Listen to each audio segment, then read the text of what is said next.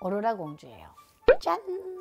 이번에는 하반기 원숭이띠를 보려고 합니다. 92년생 29살 임진생의 10월달, 11월달, 12월달의 운세입니다. 10월의 운세입니다. 부동산은 매매하거나 물건을 팔아 큰 이득을 보는 시기래요. 내사가 풍족하고 편안한 나날을 보낼 수 있대요. 배우자 운도 좋고 사랑을 듬뿍 받는데요. 그러면 여자는 훌륭한 자녀를 두기도 하고요. 이런 시기는 아주 아주 좋아요. 사주가 신약한 사람은 금전거래를 조심하고요. 이성 문제가 발생할 수 있으니까 이런 시기에는 언행을 바르게 해라요. 11월의 운세입니다. 막혔던 것이 시원하게 풀리는 운세래요. 아유 답답하면 얼마나 답답했을까 그동안에. 예, 옛것을 버리고 새 것을 취하라는 시기이기 때문에 신용을 지키고 인간관계를 중요하게 하다 보면 후일에 길하답니다. 직장인은 영전을 하거나 승진을 하기도 하고 가정은 화평하고 편안하답니다. 남자는 이성운이 있고 여자는 취업도 가능하답니다.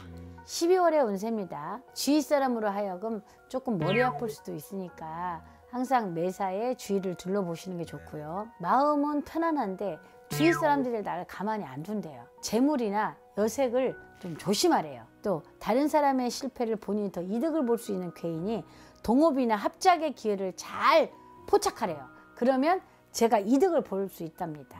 80년 41살 경신생 원숭이띠의 10월달, 11월달, 12월달의 운세입니다. 10월의 운세입니다. 집안에 경사가 있을 수 있고요. 가문을 빛낼 운이래요. 직장이나 공직자는 등급이 올라갈 수 있고 승진의 캐도 있고요. 어떤 일에 만인이 인정해준 본인이 노력 여하에 따라서 성공 가도를 건너니까 그것도 좋은 캐고요. 여자인 경우는 혼담이 오갈 수 있으니까 그것도 좋은 캐입니다. 11월의 운세입니다. 뜻하지 않은 곳에서 재물이 쏟아진답니다. 어, 제일 기쁜 말이에요. 그건 재물이 쏟아진답니다. 직장에서는 신임을 얻고 승진도 있고요. 매매 운이 있어서 뭐 집도 이사할 수 있는 쾌도 나오고요. 자녀로 인해서 기쁜 소식도 있을 수 있고요. 그래서 아주 좋은 캐입니다. 12월의 운세입니다.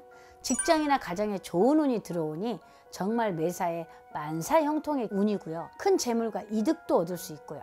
미혼 여성은 남자를 만남에 있어서 또 결혼의 운도 있으니까 일단 12월의 운세는 아주 좋은 운세 같아요. 68년생 53세 무신생의 10월달, 11월달, 12월달의 운세입니다.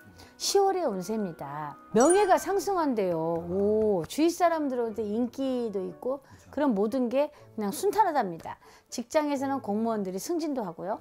재물도 따르는 운입니다. 계속 박수예요. 여자는 남자를 잘 만날 수 있는 운이고 남자는 여자를 잘 만날 수 있는 이런 운은 정말 좋은데요. 예, 나쁘다고 하면 제가 일단은 목소리가 적어집니다. 좋을 때는 제 목소리가 커집니다. 그걸 항상 염두에 두세요. 11월의 운세입니다. 변화가 자주 일어나고 재난이 일어날 수 있고 어 이것도 또 교통수를 조심하셔. 이럴 때는 제 목소리가 적어져요. 사주가 신약한 사람은 귀인의 도움도 있대요. 그다음에 12월의 운세입니다.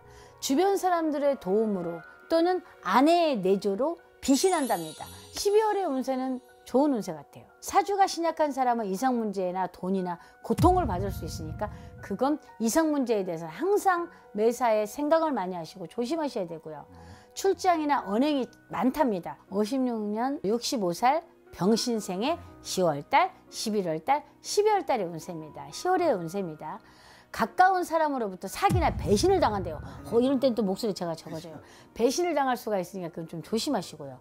동업이나 사업 확장은 불려답니다. 결론은 현상 유지를 하세요. 가만히 있자. 예. 이런 때는 창업을 하거나 동업을 하면 잘못하면 있는 돈마저 다 까먹으면 낭패수잖아요. 그래서 이건 조심하셔야 되고 이 시기는 길흉이 극과 극이 달리는 형국이기 때문에 정말 매사에 조심, 화재도 조심, 교통수도 조심, 돌발 상황, 또 도난, 또 도둑 맞은 도난이 있을 수 있으니까 그것도 조심하시고 항상 물건이나 뭔 매사에 신중하셔야 되고 여성은 남자의 운이 들어온 시기나 잘못되면 구설수, 관제수도 따르니까 조심조심. 10월의 운세는 조심하셔야 될 운세고요. 11월의 운세입니다.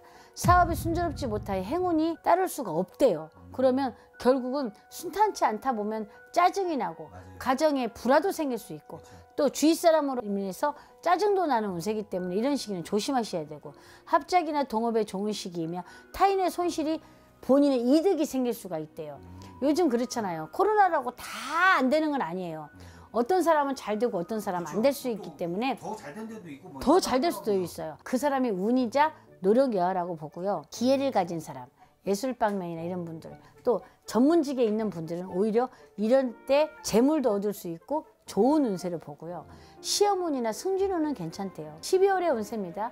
창작이나 예술 계통에 있는 분들은 오히려 이런 시기에 자기를 알릴 수 있고 인기 가도를 건널 수 있으니까 이런 시기는 상승세로 보고요. 남자는 여색을 가까이 하면 안 된대요. 낭패를 본대요. 매사에 처음에는 순탄한 듯 보이지만 결론은 잘못하면 좌절이 될 수 있으니까 항상 매사에 신중을 기하라는 겁니다.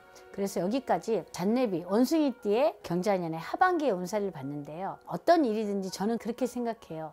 노력을 하다 보면 분명히 다 성공은 아니에요. 근데 저는 분명히 중요한 건 결과도 중요하지만 저는 과정도 중요하다고 생각하, 생각해요. 그래서 항상 노력 여하에 따라서 천천히 올 수도 있고 빨리 운이 빨리 올 수도 있고 천천히 올 수 있지만 항상 노력하는 거에 분명히 성공 가도를 건널 수 있습니다.